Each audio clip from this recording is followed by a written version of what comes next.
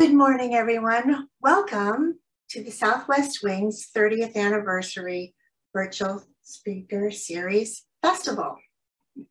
I'm Mary Sia. And I'm Chris Harper. We're really glad you can join us today.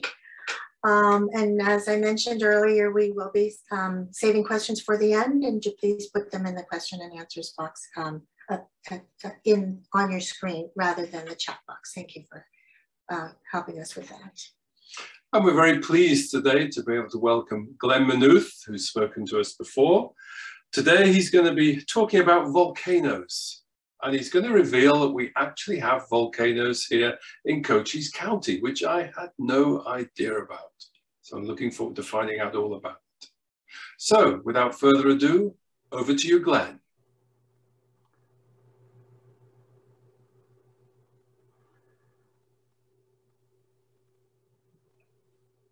Hey, Glenn. Hi. Hey, good morning. Good morning, everyone. I'm still trying to uh, get, share my screen, apparently. Here we go.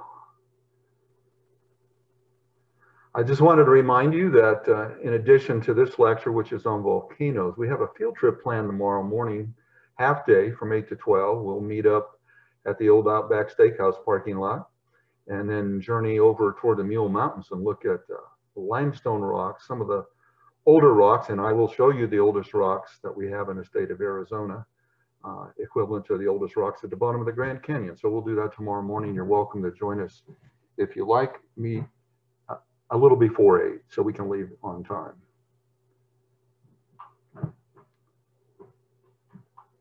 So today's subject is, is volcanoes and before you is the deepest lake in North America residing in uh, an ancient volcano, an ancient supervolcano that was quite large. And I'll be talking more about the Crater Lake. So what I wanted to do first was show you where we're going today by defining what a volcano is and then introducing you to uh, something you may have heard of before, and that's plate tectonics theory, some volcanic features, characteristics of volcanoes, how we classify them, and then uh, some of my favorite topics are large volcanoes called calderas, and then their uh, associated pyroclastic flows. I'll be defining what those are and show you some pictures of those. And then we'll talk about the, the serious volcanoes of the world called the decade volcanoes and some of the effects of volcanoes and then uh, how we classify the actual rocks that come from volcanoes. And then lastly, I'll talk about examples of uh, volcanism in Arizona and particularly zoom down into Cochise County and into your backyard in the Huachuca Mountains maybe you didn't realize we've had volcanoes in the Huachucas.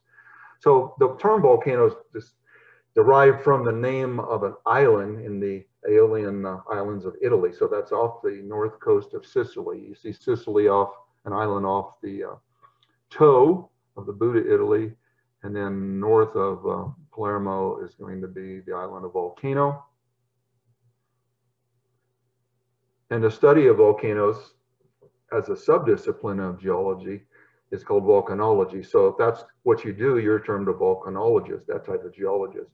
And they study eruptive activity in the formation and life cycle of volcanoes. And they look at active volcanoes that are currently erupting, and they also study more prominently historic eruptions. So they have to visit volcanoes, the geologists, especially the active ones, not only to observe, but to collect samples and those samples are usually chunks of lava uh, called tephra or ash or pumice that are blasted out. Our major, or one major focus is the prediction of eruptions. Like you want to predict earthquakes, no can do at this time. In uh, geology, you can't really predict the volcanic eruptions. We, we do know when there are some signals of impending eruption, but to predict something, whether it be an earthquake, a volcano, or the weather, you have to say where, when, and how much, and how big an eruption or how big an earthquake or how big a hurricane it will be. Better with hurricanes than we are with, with volcanoes. So there have been many traditional beliefs about volcanoes, and just mentioning that uh, the Greeks were ones that commented on the power, and they could only be explained by the acts of God, while in the 16th and 17th century, the German astronomer Johannes Kepler, he thought there were ducts of uh, energy coming from inside the earth, which he called tears. He didn't use the word energy, but something was venting, in other words. And then we've had other people that witnessed volcanic eruptions like Mount Etna and Stromboli, a Jesuit, and he revisited uh, Vesuvius over a period of time and published his view on the earth. And he talked about a central fire connected beneath the earth to numerous others caused by the burning of sulfur and bitumen and coal. And then we go on to realize uh, in more modern times that we can connect the volcanic eruptions to the Earth's mantle. That's the area of a semi-solid material below the Earth's crust. And so it took decades for the idea of uh, compression of the Earth's crust and radioactive materials way down below, miles below, creating the heat to source the volcano's energy. But uh, there have been times when it's still often attributed the cause of volcanoes to chemical reactions and a thin layer of molten rock just below the Earth's crust that's ready to erupt at any time. So the common perception of volcano is a, a, conical mountain spewing lava, maybe poisonous gases from the crater, and the crater is perceived to be at the summit. But that just describes one of many types of volcanoes. So there's features of volcanoes that are a lot more complicated and their structure and behavior can be contingent upon a number of factors. So some volcanoes certainly do have rugged peaks formed by lava domes rather than just a single crater. Others have massive plateaus uh, instead of a crater at the top. So the massive plateaus go on for miles. And then there's some that do issue volcanic material, including lava, ash, and certain gases. And the gases are mainly steam and then other uh, chemical gases that we'll be talking about. And they can be, these big volcanoes can also spawn off what are called parasitic volcanoes, small cones off their side. And then if you think beyond Earth, if you think to the planets, we have already discovered by remote sensing, uh, telescopes or satellites orbiting these planets, uh, cryovolcanoes, the case of ice volcanoes on Jupiter, Saturn, and Neptune. And cryo means cold. So this isn't really carbon dioxide that's, that's being vented out from below, not magma, hot, no hot magma at this point. And then there's mud volcanoes that are associated uh, with um, not any type of magmatic activity directly. So they involve hot temperatures, but lower than those of what it takes to form igneous rocks. So the plate tectonics theory that explains why volcanoes occur in most cases, but not all, uh, is evidenced here by a couple different diagrams that correspond to the chart. So the crust of the earth is divided up conventionally now. Most people believe there's about 17 large crustal plates varying in thickness from six to 30 miles, depending whether they're in the ocean or on the continent. And if you look at the three types of uh, intersections, that is the side of the plates where it hits another plate, joins another plate. You can have divergent, as we see in this picture, so there's material being accreted, volcanic material, as you can see in the cross section, coming up from the mantle and adding material to the ocean seafloor. These occur on the ocean seafloor. So this is a spreading center contrasted to a convergent area. We just came from a divergent examples where crust is being added and going both directions. Look at here, the arrows are reversed. Two plates are coming against each other and one subducting under the other. The heavier plate is the ocean plate coming under the crustal plate. And down in this area, magma is generated and uh, mixed with the two different types of plate material. And then volcanoes, as you see, these puffs of uh, ash coming up. Example would be the Andes Mountains or the, the Cascade Mountains. And then sometimes we have transform activity, which simply means there's no subduction or there's no divergence of the plates, but they are grinding past each other. And there's no major uh, effect of, uh, for volcanics with most of those intersections. So I wanted to show you where some of these plates are. The boundaries are usually uh, in convergent zones or subduction zones surrounding uh, huge plates like the Pacific Ocean here is a huge plate and around it is the circumscribed Pacific Ring of Fire. And you can see all these volcanoes like off the Aleutian chain, or if you go over here, you can see them along the Cascadian uh, side of uh, Oregon and Washington and down into the Sierra Nevada. Even better examples coming from Cap Kamchatka Peninsula down in an arc, an island arc to Japan, another island arc, and, and so on. So the red lines are different from the red dots. Now, the red offset lines that are somewhat jagged here, very well offset down here to see, would be the mid-ocean ridges. So there's certainly the classic example that extends from Iceland all the way down the mid-Atlantic, hence mid-ocean ridge, all the way down into the southern Atlantic Ocean. But there's one here called the East Pacific Rise coming from Antarctica's ridge and the East Pacific Rise eventually approaches the North American plate where it comes up through the Gulf of California and expresses itself in our North American continent in California as the San Andreas Fault running right up through uh, the western part of California. So I've covered uh, several of the occurrences there, except one, and that's one that doesn't relate to plate tectonics, and that's the volcanoes out in the middle of the continents. Look at these. No particular reason to link these to plate tectonics theory, and you see them all over Asia too, just these little dots coming up. Uh, what explains those? So we have to move on to, to look at that. Here's a cross section then of uh, a cartoon that shows a, in a magnified sense the Earth's basalt plates, ocean plates that are plunging down under the uh, lighter, less dense continental plate. So this is a subduction zone. This is the area right in the bottom center where the two come together, grind together. It's deep enough, 200 miles down, where crust melts the two types and puts up an intermediate lava called andesite through the volcanic conduit. So hence the Andes, Andes Mountains. That's where the rock andesite comes from. Let's look at a divergent boundary. There's still volcanic rock coming up. And as you can see, it comes from a magma source. It just goes in both directions when it hits the bottom of the oceans, the seafloor. It spreads in two directions. That's what we're seeing, a, a slight ridge here. And because we're adding material, the area is in tension. There's a block, usually a rift zone that drops down.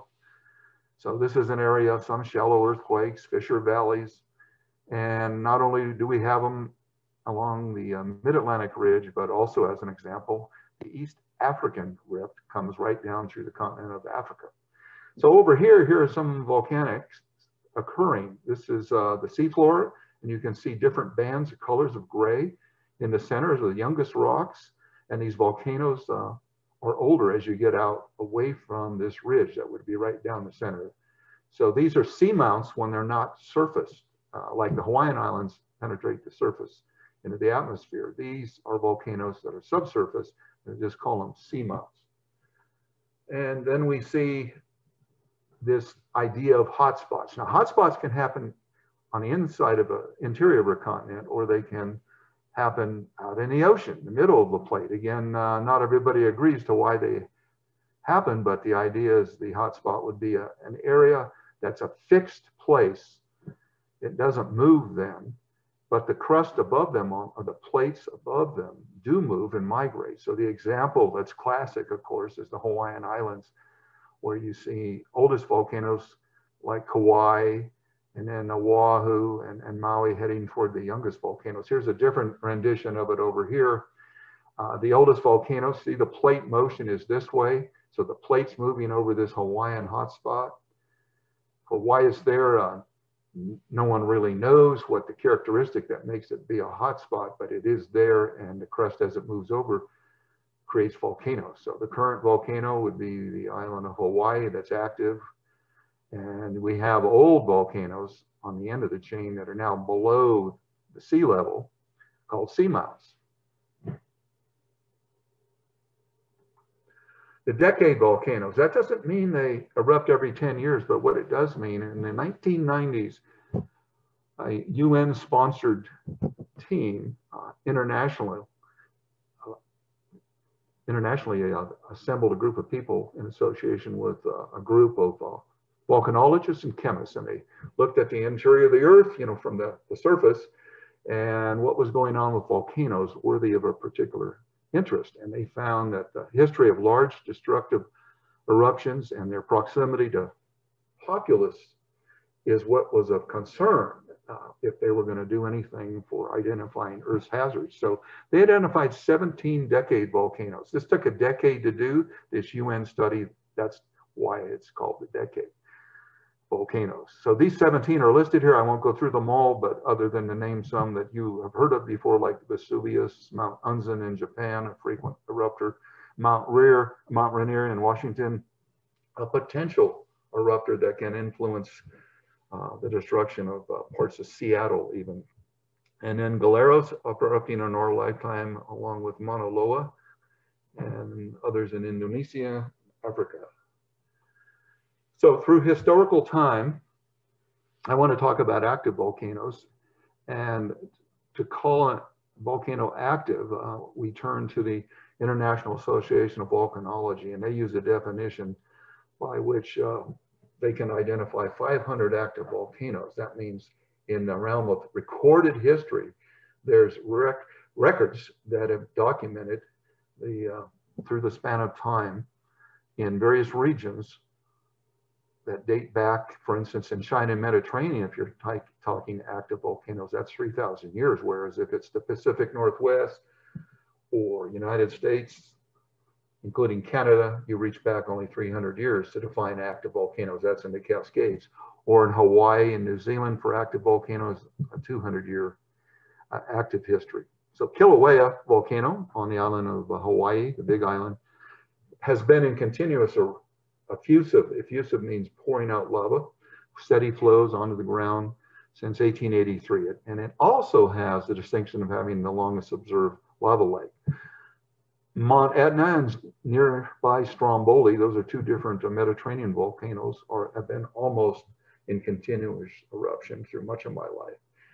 And out in the uh, Pacific, out toward or northeast of New Zealand, is Vanuatu. Vanuatu has been erupting nearly continuously for over 800 years. As of August 2015, these are some of the uh, longest ongoing, but not necessarily continuous volcanic eruptive phases. So we see things like Stromboli again, Mount Etna, and uh, Mount Yasur in Vanuatu, Vanuatu. And these two down here uh, in Guatemala and Ecuador, you may not have heard of them, but what they all have in common is uh, they've been going active now for about 100 years. Now, what's a dormant volcano? That's much harder to judge. Uh, and then there's dormant volcanoes that we thought were dormant that are reactivated. So we have to go on volcanoes uh, being extinct if there's no written record of their activity. But there are some examples of uh, uh, dating of rocks that we can see that they went back way before the beginning of uh, recorded history. For instance, at Yellowstone, you go back 700,000 years for the start of the eruptions in uh, Toba volcano, 380,000 years. Now, the Roman writers described the Vesuvius eruptions around 79 in the Common Era. And of course, that particular volcano destroyed the towns of Pompeii, which you've heard of, and also one nearby one in Herculaneum. And then you come to more current times, probably in your lifetime, Mount Pinatubo in the Philippines was an inconspicuous volcano, unknown by most people that lived in that area. And in 1991, it did erupt. There's two other current examples. Uh, the Soufriere Hills on the island of Montserrat was thought to be extinct until 1995. And Four Peaked Mountain in Alaska erupted in uh, 2006. And it hadn't erupted before that since 8000 BC. Now, what are extinct volcanoes? Those are what consider, scientists consider that they're uh, unlikely to erupt again because they don't have a magma supply. Their plumbing is kind of devoid of any fluids. So, so here's some examples of extinct volcanoes. The one closest to us is Shiprock, New Mexico, up at right at the Four Corners area. All you can see are the innards left of the volcano, the inside plumbing that's solidified, and then a few others that are listed, like the Explorer Seamount Chain north of Hawaii. Edinburgh Castle in Scotland is uh, located atop an extinct volcano, so there's another example. Otherwise, these are hard to determine. So there can be these super volcano calderas that have erupted with lifespans that are measured in millions of years. I'll show you a few examples of those. So the term extinct is now uh, replaced Uh, actually, we, we call them inactive volcanoes. Uh, some people refer to them as extinct.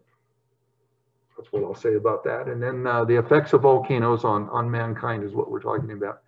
So there can be steam generated eruptions. Where's the steam come from? Well, not only the magma, but more importantly, the groundwater. And I'll show you one uh, over in southeast Cochise County that comes from that situation. And then explosive eruptions that have the mineral silica in them in a high concentration that uh, makes the lava called rhyolite. And then there's effusive or eruptions that flow very easily because they have low silica content. The mineral silica is not as high as it is in uh, the rhyolite. We call those basalts, a lava rock you've heard of before. And then pyroclastic flows, pyro is fire, clastic is broken. So these are fire broken rocks or lava. And we'll see some examples of those. Those things are deadly. Lahars are uh, debris flows or volcanic mud flows. Sometimes uh, glaciers on a mountain can melt and that adds to the water coming down the mountain. Carbon dioxide emissions and other gases that are harmful like sulfur dioxide, which is poisonous, can come out of volcanoes and pose a threat to humans and their activities. So when I went to school back in the 70s in college in uh, geology, these this is the classification that we use from McDonald to look at all the different types of volcanoes down this left column. And most of them have a, a geographic name or the name of a particular mountain like Pele, Mount Pele in uh, the Caribbean. That's a particular volcano, but it has a style of eruption. And then you can look at the nature of the magma. At one end, the basalts are very fluid, but on the other and there's uh, very viscous magmas don't flow. In fact, they like to plug up the vents of the volcano, which creates explosions. And then there's some that have actually no magma involved, but they still erupt. And these are some examples down here. And then you can look at other types of uh, qualities of each of these volcanoes. Uh, the lava quality, uh, what they put out in terms of uh, volcanic bombs and uh, glass as in volcanic glass. Glass simply is meaning there are no crystal structures. It's magma that cooled so fast, it formed glass. It didn't form small crystals. And then the structures that they build, they all have names. So if you look into this, you would be becoming aware of many of the characteristics of volcanoes on from charts like this. The other thing is to look at the explosive character or eruptive characteristics. And although you can qualify them by small, moderate, large, and so forth, that doesn't tell you much until you start looking at the volume of volcanic products that come out of the vent called tephra. Tephra can talk about lava, uh, not only lava, but ash, dust, blocks, and volcanic bombs, that sort of product. Uh, that's all an expression of the amount of energy. So the bigger the volcano, the more volume of tephra. These are the large volcanoes on this end. And that means with a lot of energy, you can propel above sea level the volcanic cloud to greater heights, which means if it goes up into the stratosphere, it has big implications for climate. So these are some of the other descriptive terms from the other chart, the types of eruptions here. And then they have different durations. Not all volcanoes have to erupt on a schedule. And at the very bottom, this is uh, called tropospheric injection or stratospheric injection. Those are just two different layers of the atmosphere. The stratosphere is the next layer above our troposphere where our weather uh, performs in the atmosphere. So some of these volcanoes will shoot volcanic dust and products, chemicals into the stratosphere, which has implications on the Earth's temperature for a number of years afterwards. So if you want to look at the eruption styles and put a little diagram by it, um, these are some of the types of shapes that you get with the various volcanoes. Now, some of them here in this cartoon look very similar, but they, they have uh, uh, descriptions that visually are different. See, this is a very steep-sided volcano compared to the basalt volcanoes like up in Iceland. So these are more basaltic light on this end and then more andesitic. And if you come off the end of this chart where there's no room to put the rest of it, you have to come down to this part, pick up the andesite lavas and see that the, uh, the lavas convert to rhyolite, very stiff. And notice there's bigger clouds because these plug up the vents and they cause them to explode with their thick, pasty lavas. And they put out a lot of a lot of pyroclastic fragments, a lot of material being ejected. So here's one um, that's a special kind of volcano. A caldera, by definition, is any volcano with a volcanic vent greater than one mile in diameter, and they can range up to 20 miles in diameter, 40 miles in diameter. So these are the huge super volcanoes that put out all types of uh, material. Now, sometimes they won't appear like Crater Lake. Before you is the evolution in these three different artistic impressions of Crater Lake volcano. And you see this, uh, the biggest picture here has a distinct crater. It's, oh, greater than five miles across on the average. But just think if that mountain got eroded down, all you'd have is the volcanic bedrock. And that is what we call the exhumation, or we'll say that the caldera is exhumed by erosion.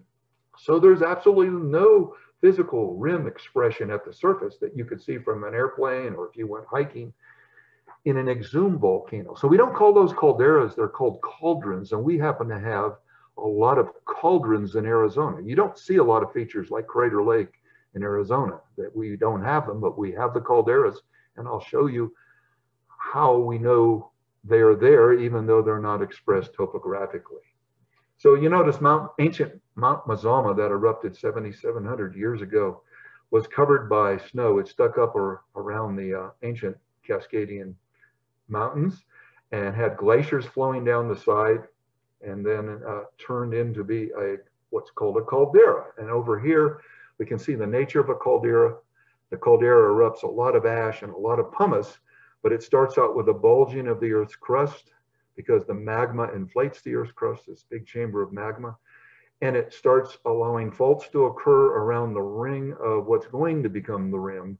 And that weakness allows magma to come up all the way around the ring. And then at some point, all this magma, or at least a major portion of it, is uh, run out. You run out of the, the water supply, in this case, the magma supply.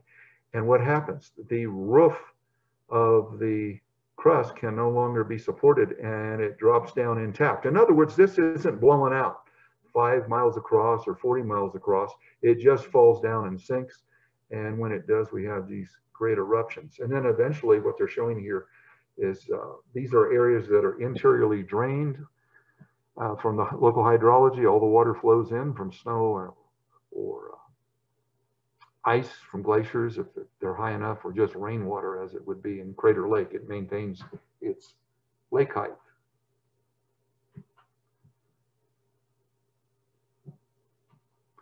So a few more views of Crater Lake as we look at a wide angle view in the upper left.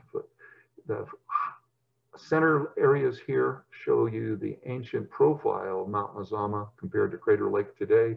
Or if you like to look at it from a distance with an actual photo, you see the surface of the lake drawn in here behind, in front of the mountains that contain it, and then the height that blew off or actually uh, sank down. A lot of this material was removed, but remember, a lot of this crust of the volcano just went straight down.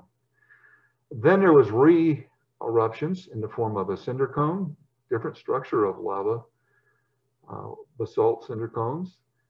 Wizard Island, shown here on the map down in the lower left.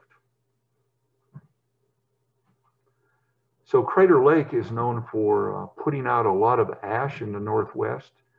And you see the circle up here, the ellipse, showing you the general coverage of, uh, you know, hun hundreds of cubic miles of ash, volcanic ash that came out of Mount Mazama 7,700 years ago.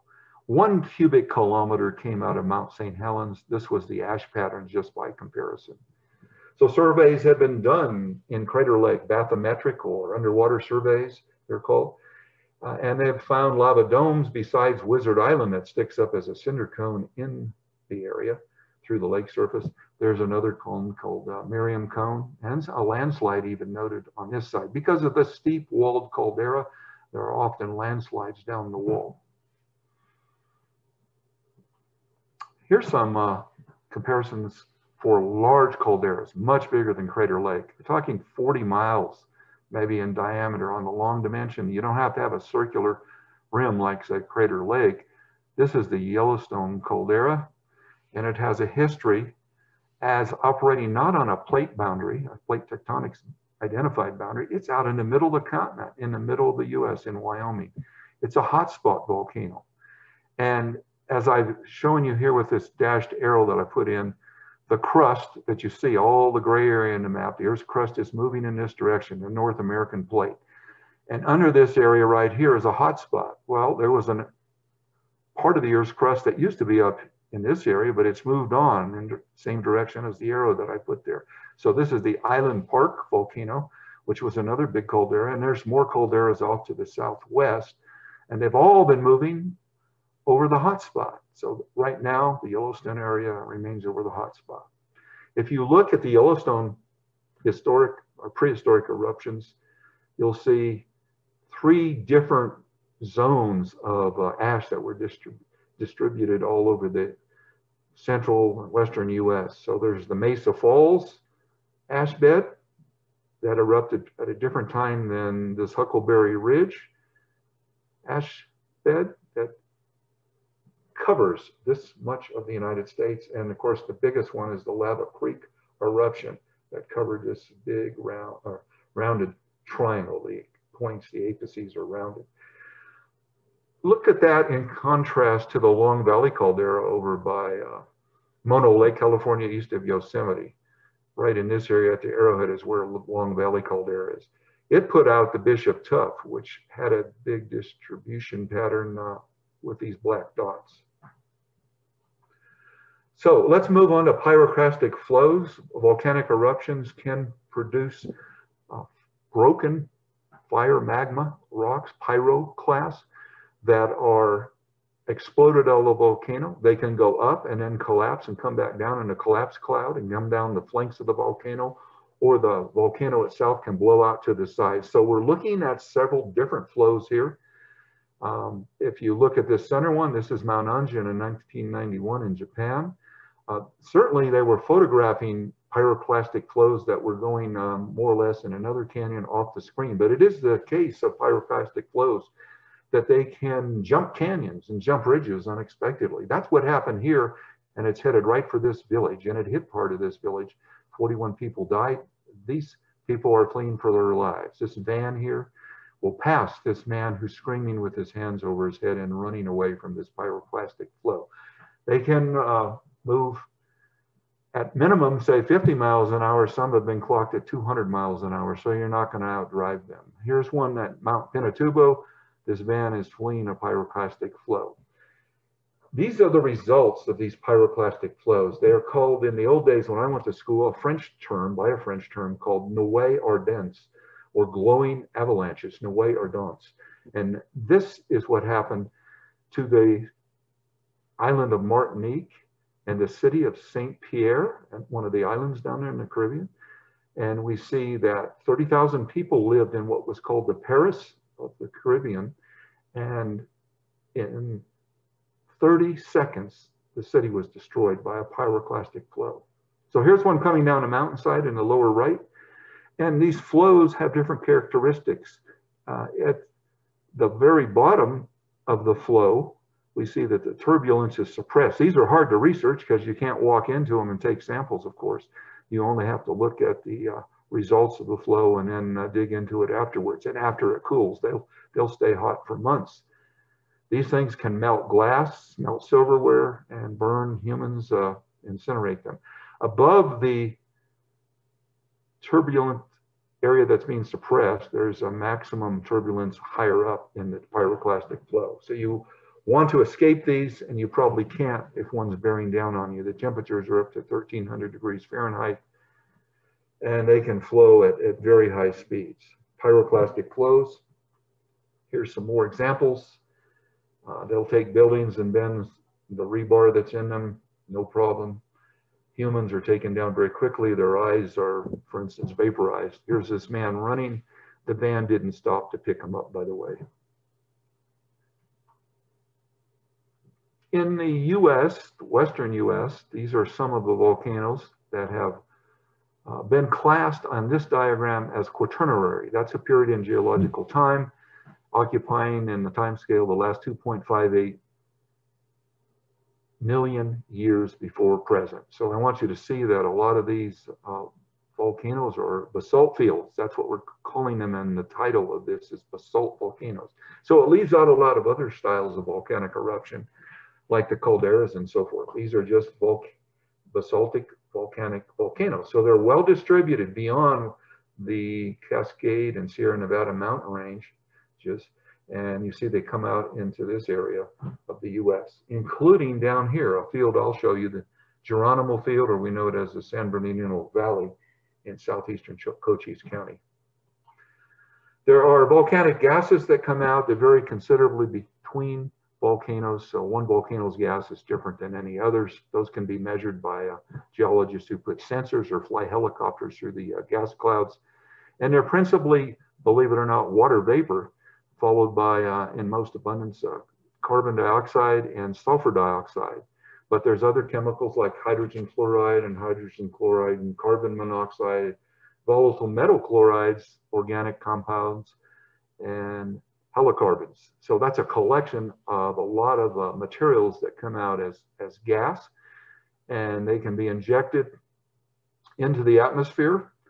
And one of the problems is that when you take sulfur dioxide and put it into particular our upper atmosphere, the stratosphere, up above 35 miles in middle latitudes, it becomes sulfuric acid as it mixes. And it condenses in the stratosphere to fine to uh, form very fine aerosols. And those types of uh, aerosols are what create reflections of the Earth's or the sun's energy coming back. So it reflects radiation back that's coming in from the sun. And so we end up cooling the Earth down during volcanic eruptions rather than heating it up. Might be counterintuitive. But on the other hand, you can uh, absorb heat radiated up from the Earth in these clouds, and then, then you can actually warm the stratosphere. That's the same part of the atmosphere way up that's reflecting the sun. Overall, things cool down. And they have created famines like the one I show, the Russian famine of 1601 through 1603 with the eruption of a single volcano.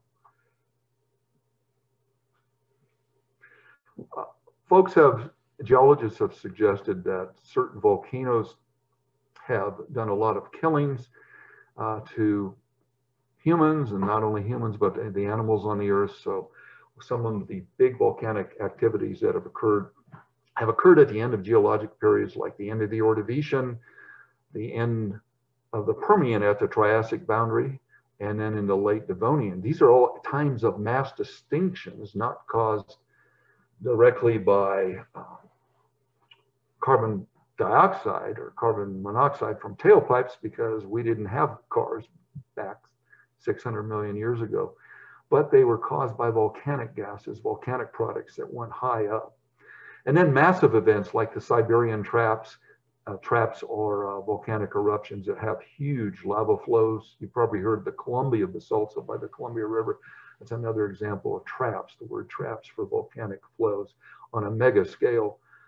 Uh, they these events occurred over 500 million years, the Siberian traps. So that's a long time to be spewing material into the atmosphere. And so it contributed likely to the great dying about 250 million years ago. Estimated that it killed 90% of the species that, that existed at the time.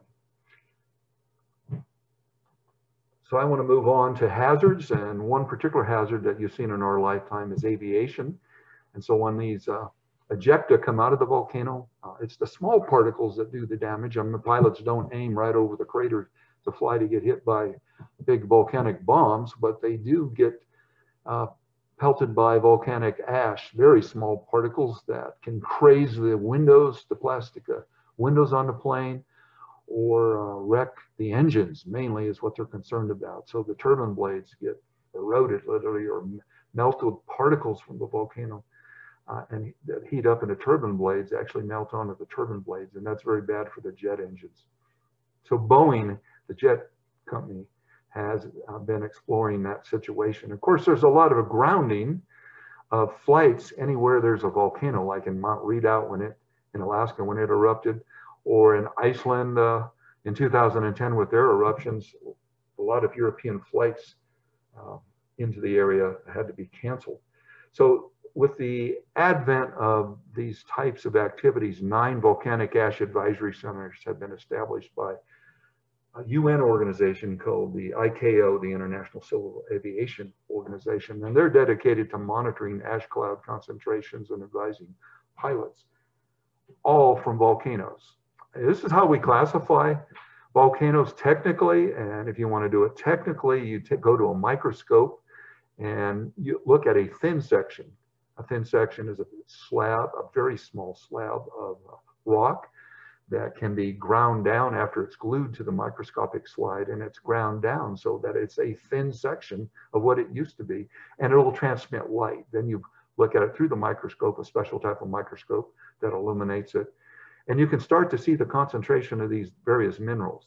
And this chart is what every geology student would, would learn probably in Geology uh, 101 about the different types of rocks. You heard of uh, rocks at the surface that we see all the time, granite, diorite, and gabbro. Well, they have equivalents of volcanic rocks where you can't see the crystals. They're called aphanitic crystals that you can't see them. They're fine. You need a microscope and sometimes even an electronic microscope to see the very small volcanic crystals. So the lava products that have a lot of silicon and, and thick, pasty lavas because of that silica content. And the silica is expressed as quartz, the mineral quartz here is. That lava is rhyolite, produces explosive eruptions. Kind of at the other end would be rocks that have a lot of ferromagnesian elements like the pyroxenes and olivines. Uh, they create a very heavy type of lava, whereas this one, if you lifted it up, is much lighter in heft than the heft of a basalt sized um, material. If you compared two similar sizes, this one, the basalt would be much heavier. So there are ways uh, to do the classification in the lab, or you can use a hand lens and get some appreciation for the types of minerals. And if they fall in one area, then it's going to be a rhyolite. But if you're seeing peroxide, pyroxenes and olivines and calcium-rich feldspars and some hornblende thrown in, then you'd be talking about a basalt, like a black lava from Hawaii. And notice at the bottom, again, let me get back to that slide. Uh, it says the darkness increases to the right because the silica is less in these and specific gravity, that means density increases to the right. So basalts are much heavier, as I pointed out, than rhyolites. The type of uh, behavior of the lava primarily depends on the resistance to flow. So that means uh, the viscosity is another way of uh, talking about that. That toothpaste consistency has a high viscosity compared to water that flows very easily. So magmas behave, this, behave the same way depending how much silica are in them. The slope of the ground determines how fast uh, lava can flow as well as the uh, rate of products coming out of the volcano, the lava production rate. So this amount of silica, uh, because there's not a lot, uh, decreases the resistance of flow and thus basaltic lava moves very easily over the ground, even over gentle slopes. Over in Hawaii, some of those lava rivers that you've seen streaming will go up to 40 miles an hour because they can uh, move with very little silica concentration in them. Whereas dacite lavas and rhyolite lavas, with the amount of silicas in it, they tend to pile up around the vent, plug it up, and their flows are very stubby, very blocky, very steep fronted. And they create mounded domes as opposed to what you'd see from the low volcanoes, low angle volcanoes, say in Hawaii. So here's a way to uh, look at classification, a little different angle. Basalt, andesite, dacite, and rhyolite. Those are common lavas. And you see the decreasing of mobility, the decreasing of movement of lava toward the right. So the rhyolites are the ones that are stiff and pasty. And look at that, they have the highest silica, no surprise. And look at the melting temperatures.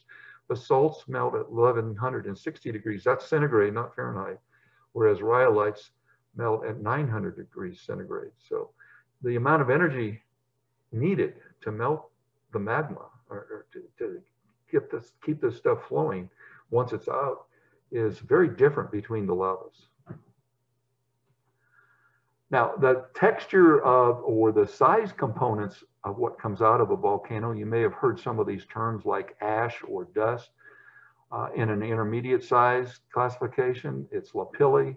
The biggest things that come out that can be uh, a block size of lava that you could lift with both hands to bombs that might be as huge as railroad cars or houses that come out of the volcano because of the energy blasting.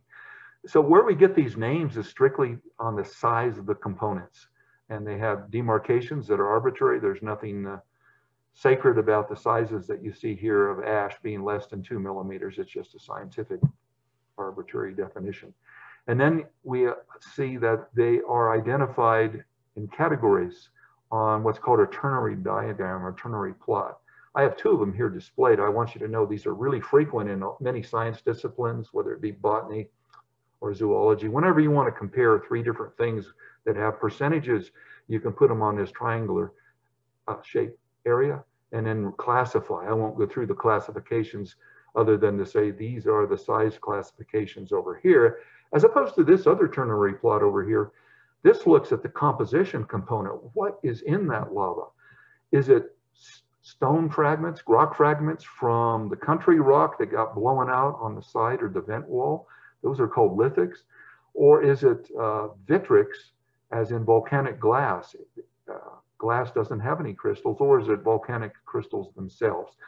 So we classify the lavas in terms of just this quantitative assessment. You can do this by looking at through a hand lens in a very crude way, or you can again take a thin section of lava, put it on a, under a microscope, and use counters to count what you're seeing in there uh, in terms of how many crystals there are, how many lithics there are, how much glass is in there. These are ternary plots. You can even take a ternary plot and add an additional variable here by folding the triangle down. And I don't want you to be able to read these. I just want you to see how valuable they are. They can be used to compare, for instance, four different uh, characteristics as an example. So we'll leave those volcanic products and look at volcanism more locally in the state of Arizona. And you can do this in different ways. You can look at volcanic fields, which are listed down here just by name. And I put these X's here to remind you that there's no correlation by the names over to these colors. So don't look at the color and think that's the name. The colors are just identifying similar ages of volcanoes. So if we look at volcanic rocks here across Arizona, they are fairly recent in red from zero to four million years, as opposed to, in contrast, if you look at greens and blues, um, the greens, for instance, down here, blues where we live, are uh, 50 to 80 million years if they're green, and I'll show you some examples of those right about a mile away from I live uh, in the Huachuca Mountains. Here are some of the more recent volcanoes where you can see more features of volcanoes in Arizona. So these are quaternary, last 2.58 million years, and tertiary going 65 million years back. So collectively, what you're seeing are two colors, quaternary, very recent, two and a half million years volcanoes. The pink areas, these are volcanic fields like Flagstaff volcanic field, and this is uh, the Springerville volcanic field. Springerville is a town in central, central or east central Arizona. And the Uinkaret area up north of the Grand Canyon is pink. And then you look at the gold color, which are quaternary or uh, tertiary volcanics the last 65 million years ago to 2 million.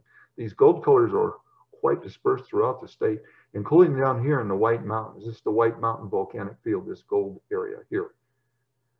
So these are more fresh terrain because they're only a few million years old compared to, for instance, if you went back uh, to 15 or 16 or 25 million years ago in the Superstition Mountains uh, east of Phoenix, you see here is Apache Junction.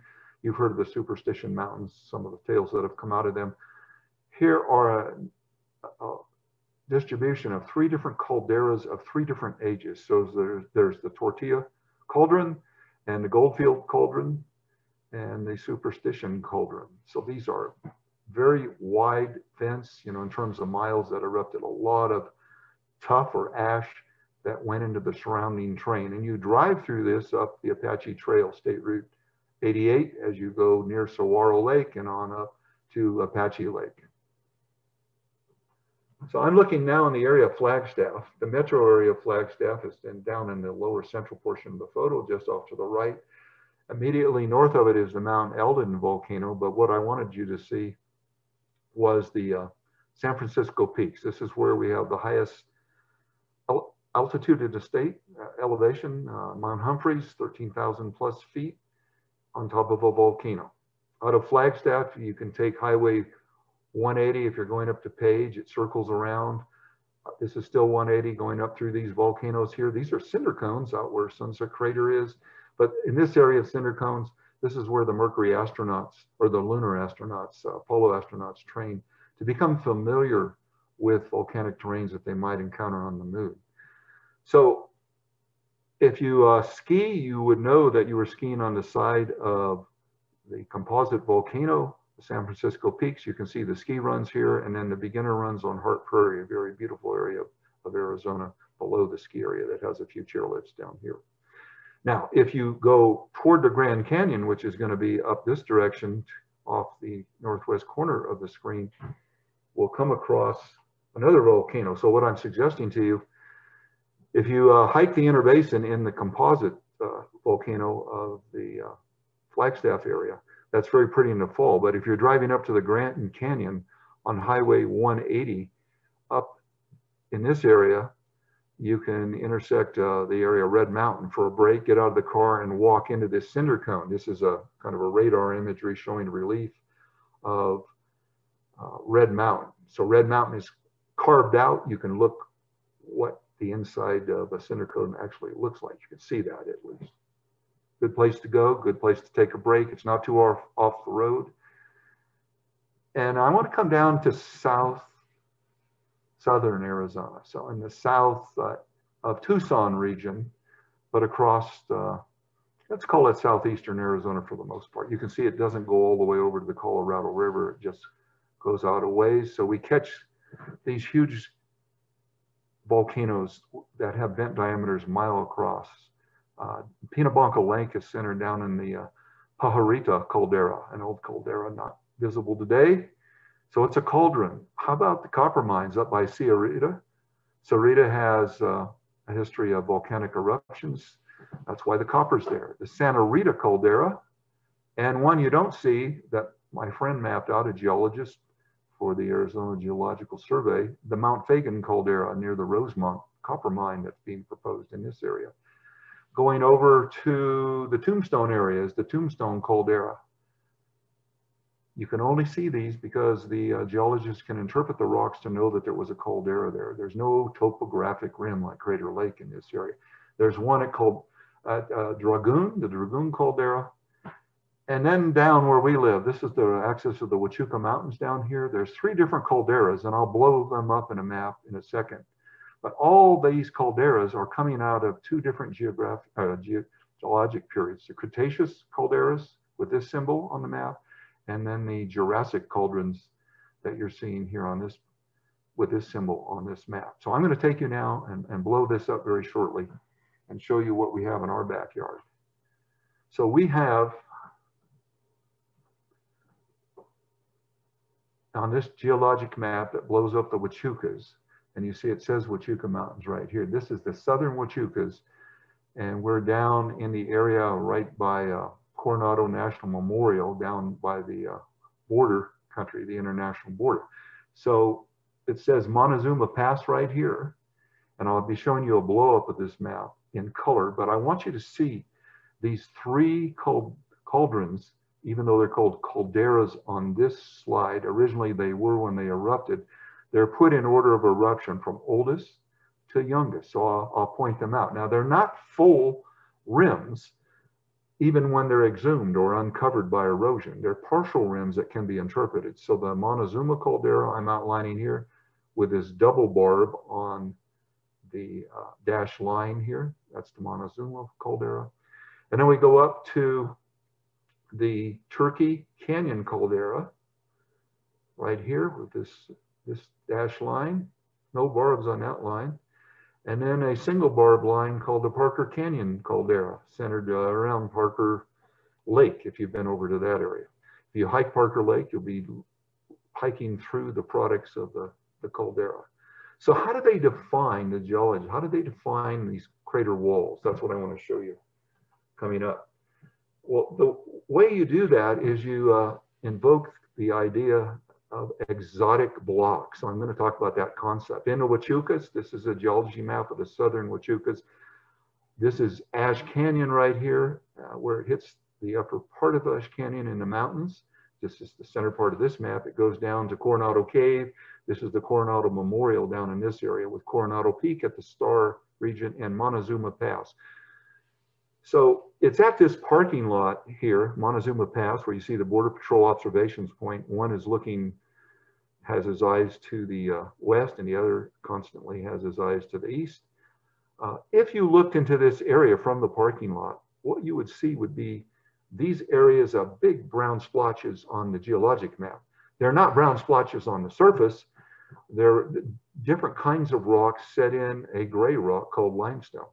There's no other way, geologically speaking, to account for why these rocks are occurring in the other rocks, in these big blobs. Look at this one here. It's If you look at the scale down in the lower left, this is almost two miles long, a mile and a half at least. How do you explain that rock being in this rock? Well, the way it can be explained is this is an expression of the rim of the caldera. The rims are oversteepened and often landslide and these are landslid rocks that are distributed in the Huachucas that are now interpreted as the caldera wall in this area.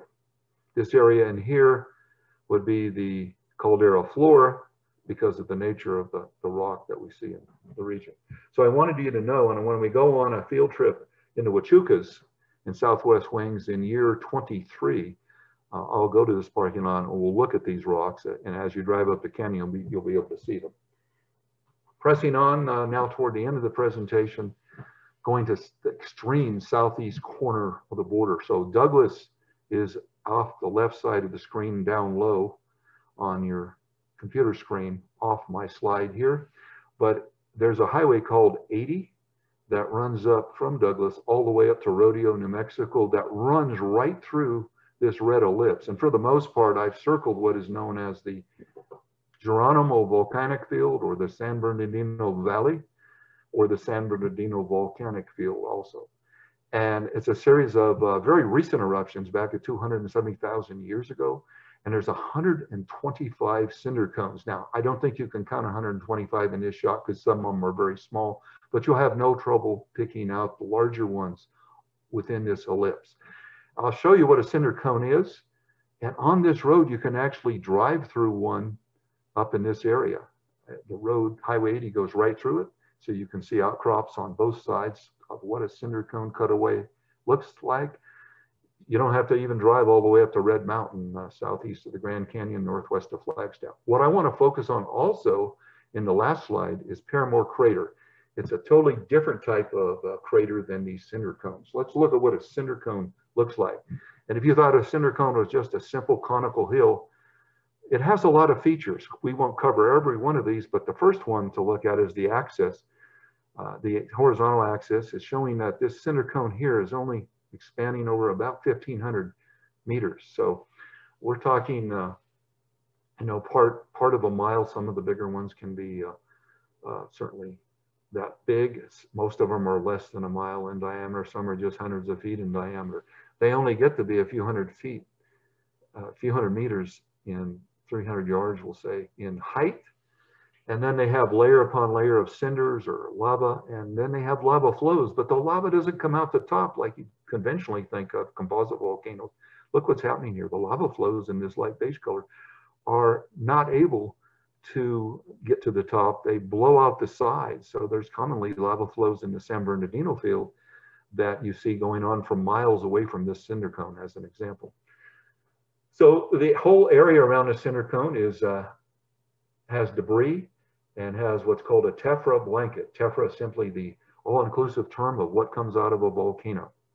This is very fluid lava If it flows, as you can see, it doesn't uh, blast out. It does explode out and throw volcanic bombs several hundred yards, quarter of a mile, something like that. So you can find lava on the flanks of the volcano or even farther out.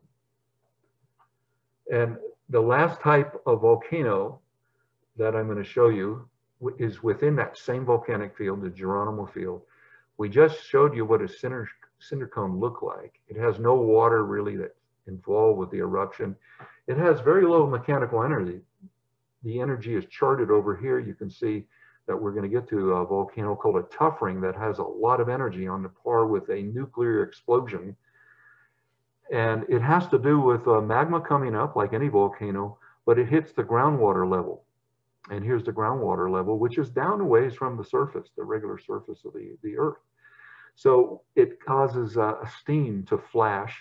And when it does, it causes an explosion. So it blows out something called a tuff ring. And I'll show you what the result is in Paramore Crater in the San Bernardino volcanic field. Now, if the water table is right up near the surface, it again blows up, but it makes a tuff cone. I don't have examples of that in the San Bernardino field because the groundwater level is much lower if the groundwater level is low enough, I'm trying to get right at the bottom of the screen here, can't raise it up. Uh, this is the ocean, for instance, and water erupts into the ocean, we get this uh, peculiar lava called pillow lava. It's, it's shaped uh, with uh, kidney beans in mind, the shape, and they might be a foot or two across and stack up upon each other when it erupts well under the sea. The highest energy then on this chart would be the phreatic or what's called a groundwater eruption. We call it a tuff ring in terms of the landform that's created. Let's look at that now. Here's Paramore Crater within the San Bernardino volcanic field. You can see other cinder cones around it. All these big uh, little mountains are cinder cones. And then there's a, about a mile in diameter, I'd say maybe a little more, is Paramore Crater. This is on private property, gated entrance. You need permission to go on, but it's a beautiful hike to see this, this phreatic eruption. So remember, it's coming from magma that hits groundwater, and that's the phreatic zone, the water, the top of the water table. It blows up, flashes to steam, and what we get as a product on the sides, the flanks of the vent are juvenile magmatic particles that have been blown to smithereens. I think that's where I'm going to stop today. And what you're going to see here is Kilauea crater in Hawaii. I don't like happy faces, but I thought this one was appropriate. These are acma, very active magma uh, areas within Kilauea crater on the big island of Hawaii. So I wanted to thank you all for uh, joining us in the Southwest Wings Birding and Nature Festival. This is our 30th anniversary this week, centered in uh, Sierra Vista, Arizona. And I'm thanking my facilitator and host, uh, Mary, for making sure this all came off. So Mary, I'm going to go one more slide. That's the field trip side. I'll leave that on the screen if, if you please. Reminding everyone I'll meet you tomorrow to look at limestones, uh, some of the older rocks that we have in our county starting at eight o'clock at uh, the Outback Steakhouse parking lot. Over to you guys.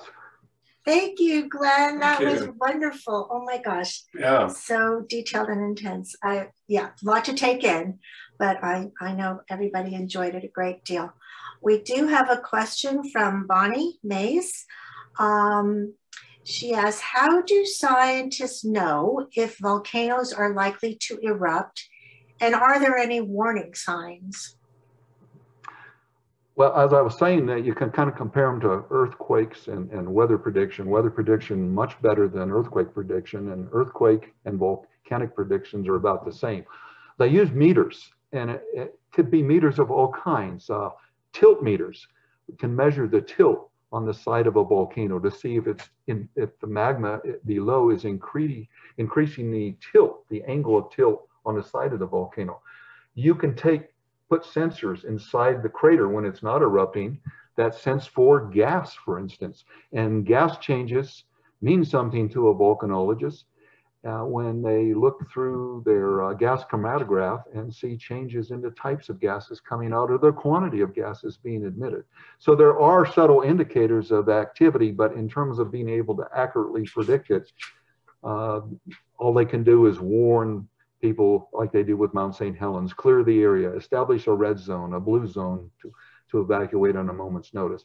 But that was even blown out of proportion in terms of uh, the consideration for that because that was such a massive explosion with pyroclastic flows and huge mud flows. So prediction uh, is done via remote sensing devices. And you can bet the volcanoes like Mount St. Helens are metered like crazy by the United States Geological Survey out of their Cascade Volcano Observatory in Portland, Oregon, which you can visit, by the way. Mm, yeah. Thank you. And thank you, Bonnie, for your question. Hmm. So I've got a question, Glenn. Uh, Mary and I here are sitting down at the bottom end of Ash Canyon looking up towards Montezuma Pass. How safe are we? I mean, it's called Ash Canyon, so there must be something happening up there. Well, remember those calderas that I showed you, the uh, Montezuma caldera, yeah. the Turkey Canyon caldera, and the Parker Canyon caldera are all termed Jurassic calderas. That meant they happened 80 million years ago. So they're all extinct. There's no current volcanic hazard in the Huachuca Mountains. But in contrast, in Cochise County, out to our southeast, just a mere 270,000 years ago, out in uh, east of Douglas in the San Bernardino Valley, you had eruptions of those cinder cones. That's why they're so fresh looking on the landscape. You can see their forms. Whereas up in Ash Canyon, if I hiked you up into the mountains, we could only look at the lava byproducts of an exhumed caldera that we call a cauldron today behind Ash Canyon. Mm. Mm, interesting. Well, I'm lucky enough. I occasionally go, go on trips on expedition cruise trips. I've been cruise ships. I've been out to um, Vanuatu and uh, seen some of the active uh, volcanoes there. And Mary and I have actually sailed into a caldera in Antarctica where oh. the side of, side of it's broken open. It's called Deception Island. You can sail ships inside. Mm-hmm. And if you get off on the beach there at low tide, it steams. And if you go down just a couple of inches into the volcanic sand there, it is very hot. It's an amazing place. So it takes years for these uh, tens of thousands of years for these things to cool off once they've erupted near the surface. Mm. So that's what you were feeling was uh, still residual heat from the magma that created that volcano.